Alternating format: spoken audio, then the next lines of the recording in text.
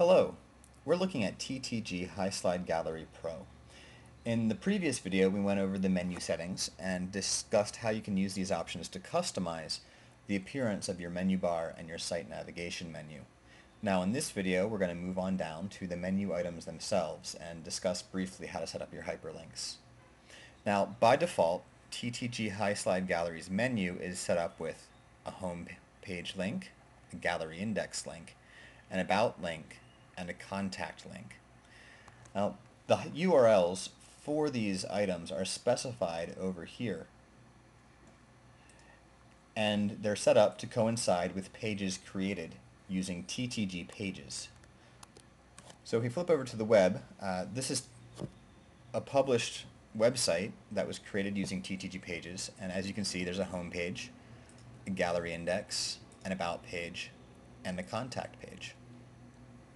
So if you're using TTG Pages and TTG Highslide Gallery Pro, you don't need to touch the menus because by default they're already set up and ready to go. Uh, you just need to follow the installation instructions on the website and don't worry about the hyperlinks in your menu. That said, uh, there are users who will want to add additional menu items or who may want to change these menu items because they're not using TTG pages. So the way you would go about doing that, uh, for each menu item there's a checkbox.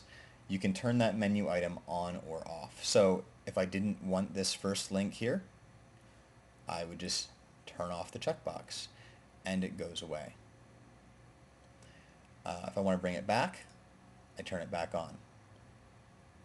Maybe I don't want my first link to be called home. Maybe I want it to be called front. So I just change the text, and as you can see, changes on the page. But the destination has not changed. It's still going to the same place. So in addition to the text that you see, there, each menu item also has another input field where you're going to put the URL.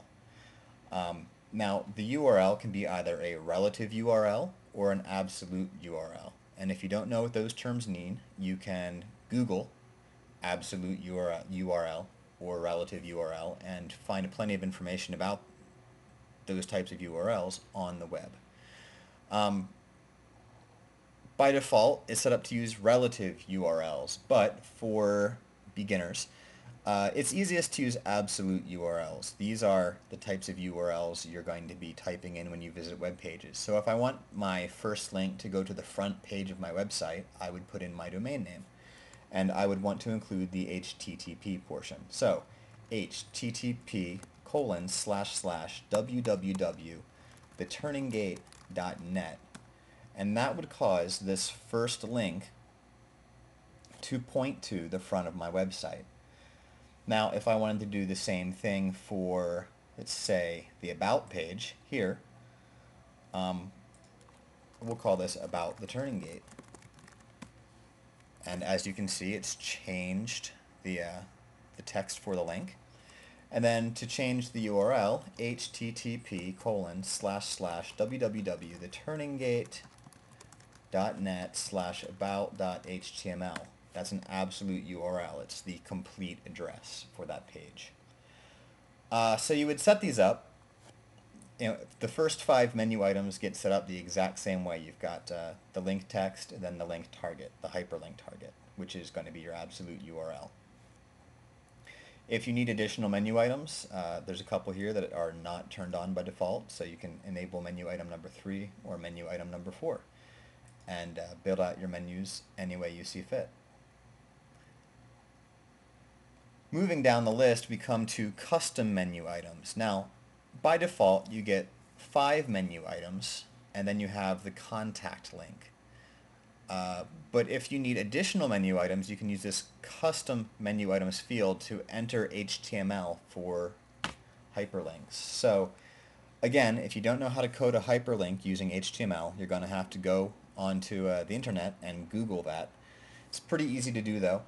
And all you would need to do here is just start typing in the code. So a href I'm going to type in a URL, turninggate.net slash page1.html, uh, give it some text, close the hyperlink, maybe I want to do a second one, so I would just write in another hyperlink without breaking the lines.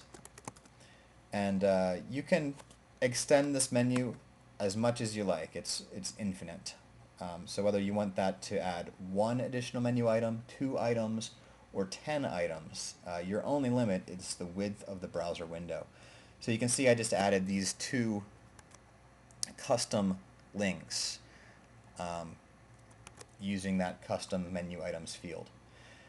Now the last one we've got is this contact link. Uh, you cannot turn this one off and on because every web page should have a way of contacting the photographer. Um, it doesn't have to be a contact link. If you wanted to make this a link to your gallery index instead, you can retitle it and you can put in an, an address for your gallery index. Uh, it's really up to you what you want this to be, but it's intended to be a contact link. Um, so you might want to change, you can, it can say contact, it can say email. Uh, by default, it goes to a contact page.